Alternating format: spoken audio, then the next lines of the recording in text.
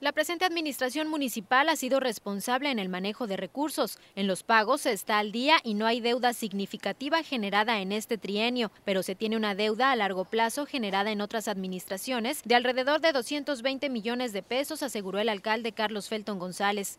Dijo que no se tiene la cifra exacta de cuánto recurso quedará en las arcas municipales, pero será suficiente para que la nueva administración empiece a trabajar sin contratiempos. Hay un adeudo negociado a largo plazo que debe de andar, nosotros lo recibimos como en 260, 280 millones y lo hemos bajado, tengo entendido, como a 220.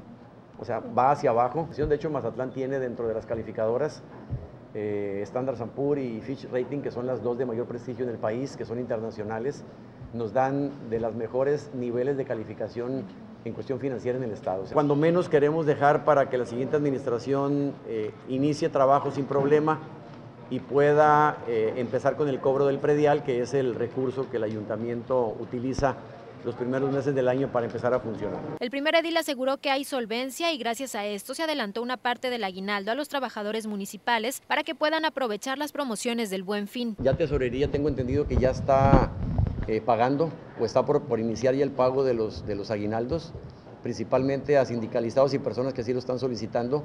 Tenemos la solvencia. También informó que hay proyectos importantes que están por concluir como el Parque Martiniano Carvajal y el Centro de Seguridad Ciudadana en su primera etapa, al que están por mudarse la Policía Municipal y de Tránsito.